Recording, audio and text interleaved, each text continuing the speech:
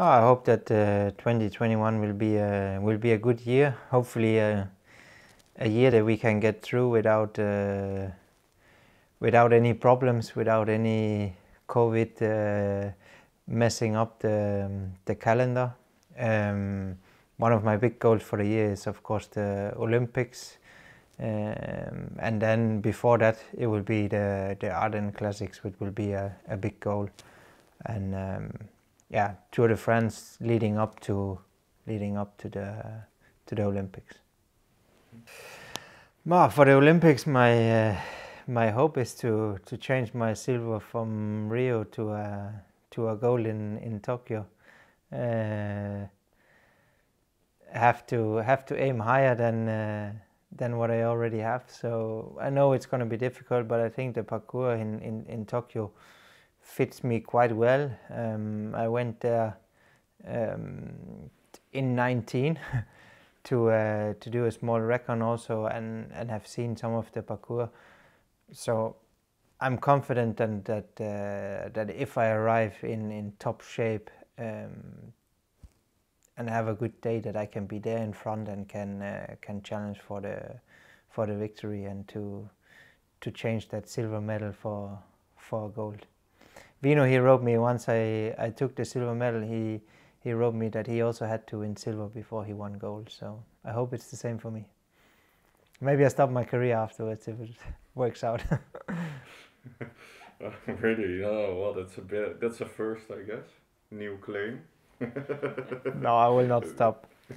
No. But Paris, I probably won't be be one of the top contenders. Um, so um, then also you will do Tour de France uh, and other races, of course.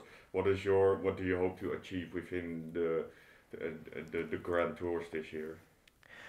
Uh, for the for the Tour de France, uh, my priority is a little different than than other years. I will not focus so much on on GC, but will with uh, Olympics in in mind use it as a as a good preparation and and try to to search for possibilities to to win a stage. That's that's my main main goal at least as it looks as it looks now.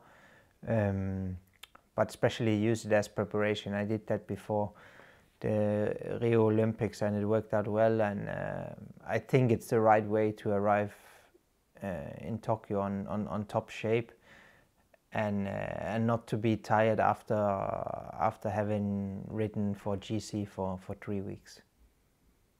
Okay, so maybe it's the smart choice, but are you happy with this strategy or this choice, like personally, or would you would you rather chase GC?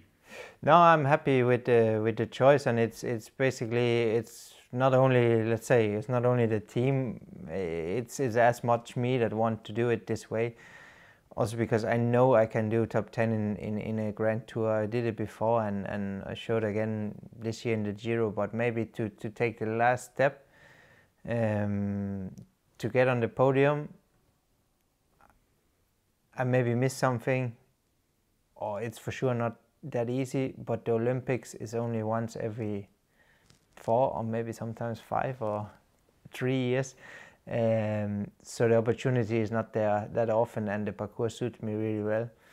So that's why I, I want to I want to go for the Olympics and and to be good at the Olympics. I think the best way is to to not ride GC in the Tour de France.